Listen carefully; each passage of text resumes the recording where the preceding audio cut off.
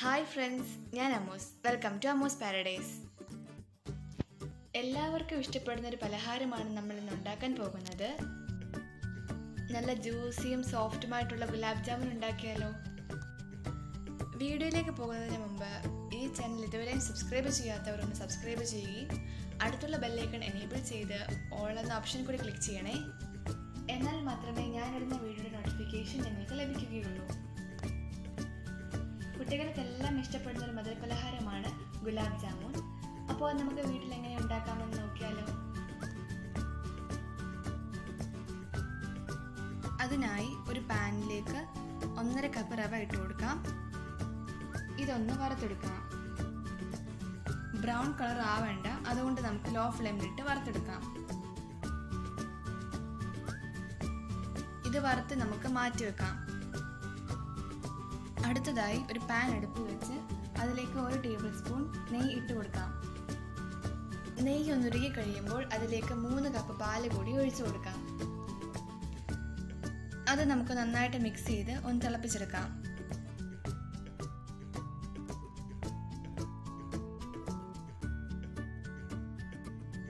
ഇനി അതിലേക്ക് ഒരു കപ്പ് പാൽപ്പൊടി കൂടി ഇട്ട് കൊടുക്കാം.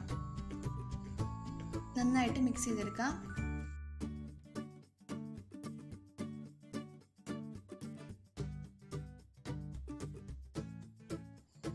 മൂന്ന് ടേബിൾ സ്പൂൺ പഞ്ചസാര കൂടി ഇട്ട് നന്നായിട്ട് മിക്സ് ചെയ്തെടുക്കാം.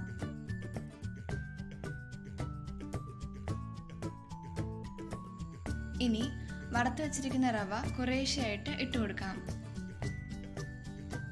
ഇത് നന്നായിട്ട് നമുക്ക് മിക്സ് ചെയ്ത് കൊടുക്കാം. ബാക്കിയുള്ള റവ കൂടി ഇതിലേക്കിട്ട് നമുക്ക് നന്നായിട്ട് മിക്സ് ചെയ്തെടുക്കാം.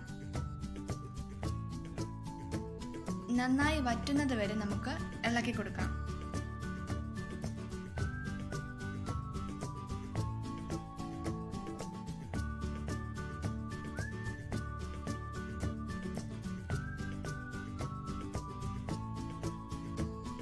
ഇപ്പോൾ നന്നായിട്ട് വറ്റി വന്നിട്ടുണ്ട്. ഇതിനെ നമുക്ക് തണുക്കാനായിട്ട് മാറ്റി വെക്കാം. നന്നായിട്ട് തണുത്തതിന് ശേഷം അതിലേക്ക് ഒരു ടേബിൾ സ്പൂൺ കോൺഫ്ലോറോ കൂവപ്പൊടിയോ ചേർത്ത് കൊടുക്കാം. ഞാനിവിടെ കൂവപ്പൊടിയാണ് ചേർത്ത് കൊടുത്തത്. കോൺഫ്ലോർ ആയാലും മതിയാകും. കാൽ ടീസ്പൂൺ സോഡാപ്പൊടി കൂടി ചേർത്ത് കൊടുക്കാം. ഇനി ഇത് ചപ്പാത്തിക്ക് കുഴക്കുന്നത് പോലെ കുഴച്ചെടുക്കാം. ഇപ്പോൾ നമ്മൾ നന്നായിട്ട് കുഴച്ചെടുത്തിട്ടുണ്ട്. ഇനി നമുക്ക് ഷുഗർ സിറപ്പ് തയ്യാറാക്കാം. അതിനായി ഒരു പാൻ അടുപ്പിൽ വെച്ച് അതിലേക്ക് ഒന്നര കപ്പ് പഞ്ചസാര ഇട്ട് കൊടുക്കാം. അതിലേക്ക് ഒന്നര കപ്പ് വെള്ളം കൂടി ചേർത്ത് കൊടുക്കാം. ഇതിനെ നമുക്ക് നന്നായിട്ട് തിളപ്പിച്ചെടുക്കാം.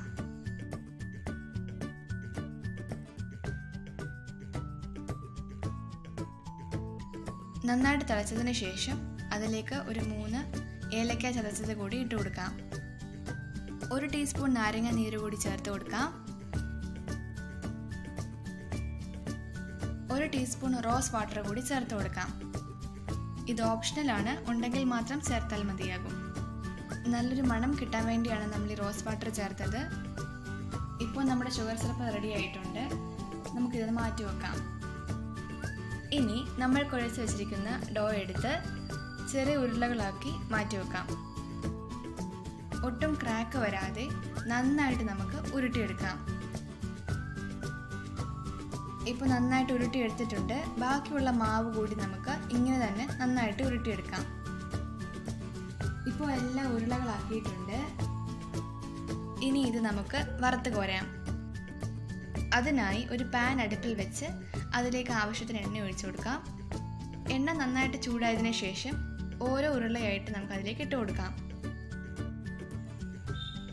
ഇനി നമുക്ക് ലോ ഫ്ലെയിമിലിട്ട് വറുത്തെടുക്കാം. തിരിച്ച് മറിച്ച് വിട്ട് വേണം വറുത്തെടുക്കാൻ. പുറംഭാഗം ബ്രൗൺ ആവുന്നത് വരെ തിരിച്ച് മറിച്ച് വിട്ട് നമുക്ക് വറുത്തെടുക്കാം.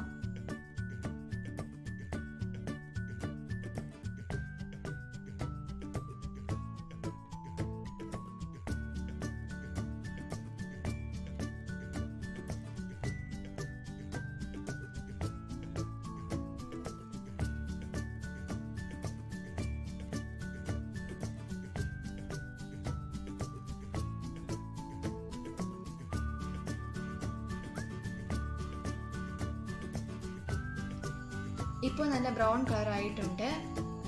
ഇതിന് നമുക്ക് കോരിയെടുക്കാം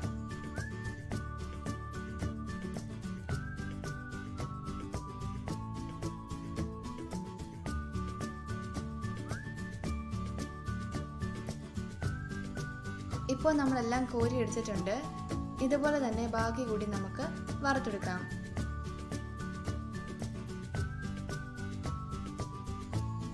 വറുത്ത് കോരി നമുക്ക് ഷുഗർ സിറപ്പിലേക്ക് ഇട്ട് കൊടുക്കാം.